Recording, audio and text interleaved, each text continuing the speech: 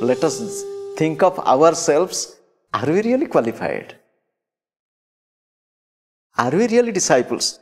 It is said, if you are a good disciple, you'll find Guru knocking your door. You need not have to go here and there. If you are not really ready, even if you find beautiful teachers, but still you'll see, oh, he's this, he's this, because we are not ready. Instead of increasing the quality of a disciple, we just want to learn. And remember, we can hear, we can practice something, but it will not give us that state of perfection because we are not increasing our own quality. Just listening is not enough. Just sitting with eyes closed is not also enough. We should cultivate some qualities how to learn. Remember, in the worldly life, a little bit of ego is essential. In worldly life, little, little bit of, you know, show of your ability is essential, but in spiritual life, all these are useless. Whatever was useful there, it is all useless here.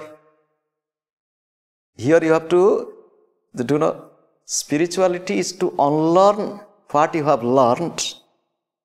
And when you have unlearned yourself completely, meaning Guru, Gurudev used one word, I don't know it is English, Latin, any word, it is Gurudev's word, tabula rasa. Tabula rasa, I don't know which word it is, but it is Gurudev's word, it is clean slate. It is clean slate.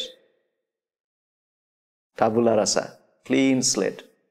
Gurudev said, on a written blackboard, if you more write more and more, there will be more invisibility, more confusion your mind is like a written blackboard, many things, many ideas, many emotion, everything is there, it is not yet clean.